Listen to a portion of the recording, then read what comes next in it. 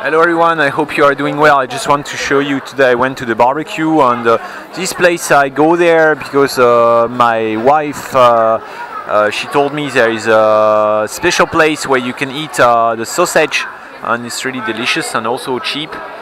So this over there, the truck is the food truck over there. Is uh, they sell sea seafood or some kind of seafood. And the place that I'm telling you about is this one. So there are many, many people, and as you can see, they just have the sausage, you know. so this is here. So have the sausage. she wants to.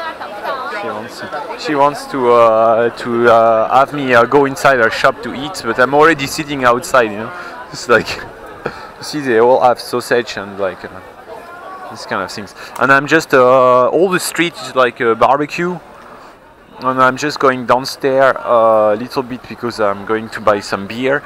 So this is something really nice in China that uh, when you go in the restaurant or when you eat outside like this, uh, you don't have to buy everything in the restaurant or you don't have to buy everything in the place where you eat.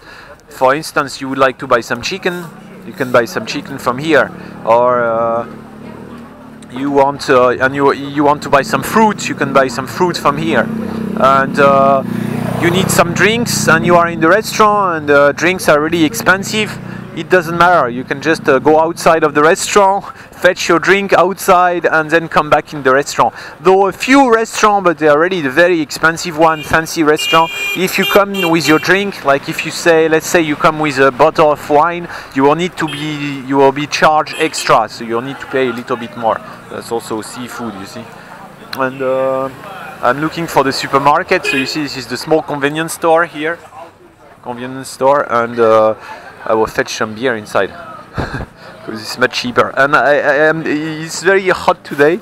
The weather is very good, and I'm the only one who has a cold. So I'm really not lucky. I don't know why I am I am uh, sick like this. Uh, so I will look for the beer. So they have the fridge here, and. Um, what I like to take is the most expensive one, so that's the Budweiser. I really don't like the Qingdao, but uh, this one is, I think, the Ar the Harbin or the Harbin is okay, and the Budweiser. But I seldom drink anyway, so it's like this is the only beer I've been taking for the last uh, maybe one month. So you know, I'm doing sport every day, so don't want to. uh, and uh, I will just pay, so I will leave you. Take care, guys. See you. Bye bye.